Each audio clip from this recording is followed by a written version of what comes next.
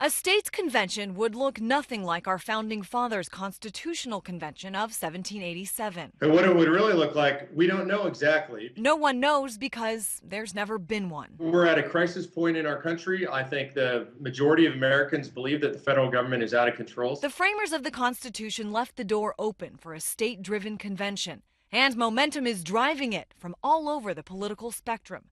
Conservatives, progressives, and liberal groups see it as the way to fix what an unwilling Congress won't address. It feels like this is the right time. You know, the people, we want our country back, and it's, you know, I think the states are finally listening. States will have to do more than listen. At least 34 legislatures must approve such a convention.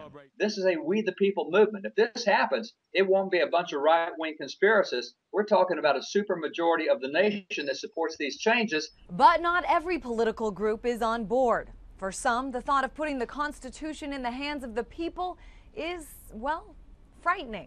It is an idea that is fraught with danger when the American people are not well educated on constitutional principles. How have congressional lawmakers responded to such a thought? Much like Marion Carroll. I think I want to get on my way anyway, just because I'm shopping with friends. Now there's much disagreement over the technical aspects of an Article 5 convention. What role would Congress play? How many states' delegates would be assigned? Groups pushing the hardest for it believe it is within reach by 2016. I'm Christine Frizzell, Fox 45 News.